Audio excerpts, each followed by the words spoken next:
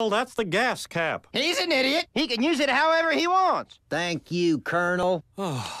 Well, looks like we're pretty close to a consensus. Now, if we could discuss the electric seat warmer. Why would we need our seat warmed? That's what pants are for. Right, Boomhauer? I don't know, Hank, man. Well, maybe dang, dang old get naked on that damn thing, man. I'm gonna heat my old little vibration might feel good, man.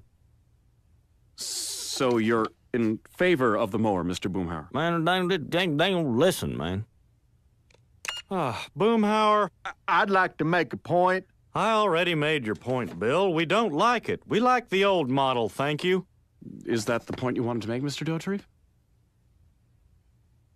Yes. No.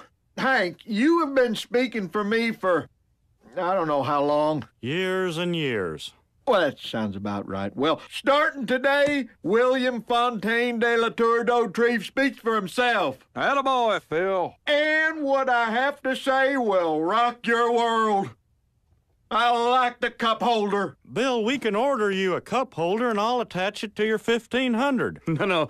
I'm sorry, Mr. Hill. Mason doesn't make parts for models that are being discontinued. Your mower is, uh, oh, what's a nice word for obsolete?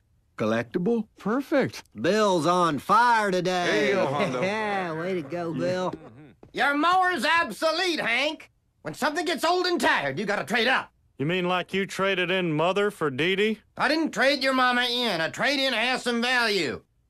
I scrapped her.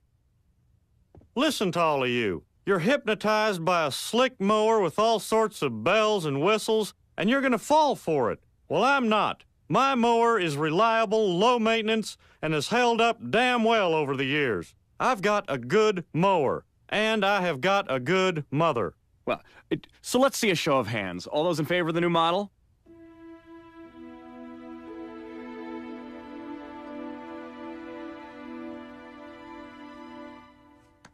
Wait, are we voting for Hank's mom or the mower? The mower.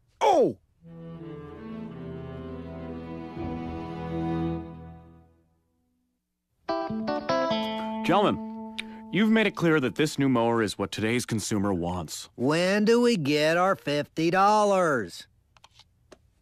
We haven't earned it yet. This invitation specifically states that we are to discuss this new lawnmower for three hours from 9 a.m. to noon.